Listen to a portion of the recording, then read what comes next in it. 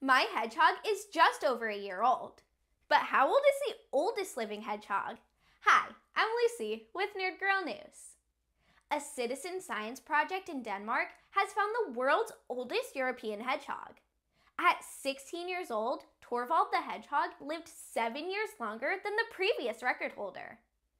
Typically found in wooded areas, gardens, and parks, the hedgehog has a lifespan of around two years.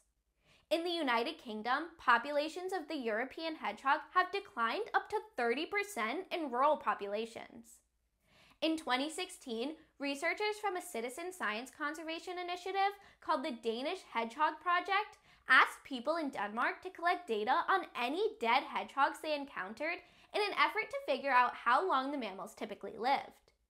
Data collected found that male hedgehogs lived about 24% longer than females, but males were more likely to be killed in traffic.